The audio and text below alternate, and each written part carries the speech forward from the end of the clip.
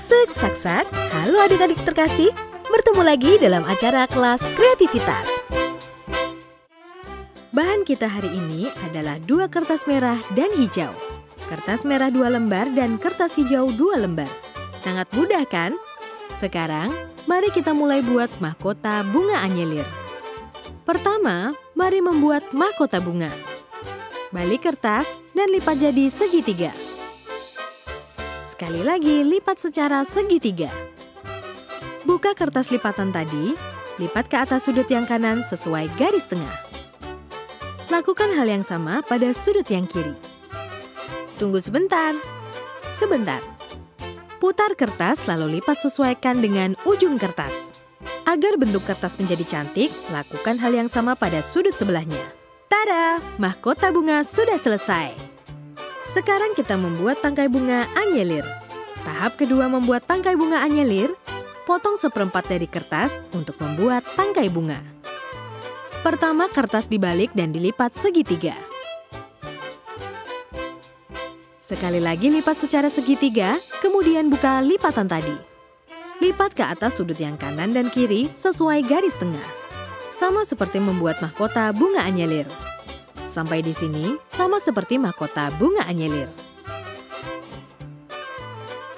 Kertas dilipat menjadi segitiga lalu lipat bentuk es krim.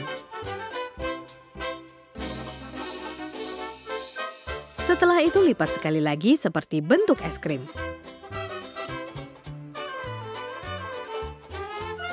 Lipat ujung bagian bawahnya ke atas. Angkat kertas sudut lancip ke arah bawah.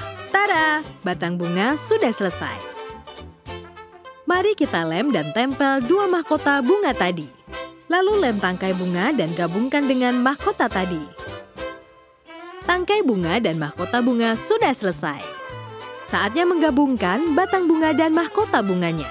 Lem batangnya dan tempelkan mahkota bunga.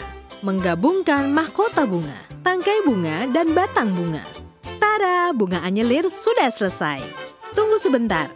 Supaya cantik, selipkan pita pada tangkai bunga. Menyelipkan di antara mahkota bunga dan batang bunga merupakan poin utama.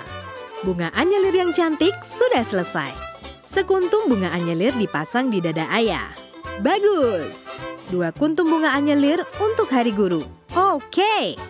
Sepaket bunga untuk dipeluk ibu sangat bagus.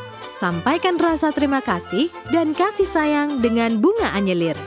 Jadilah anak-anak baik dan kreatif yang selalu mengasihi semua orang.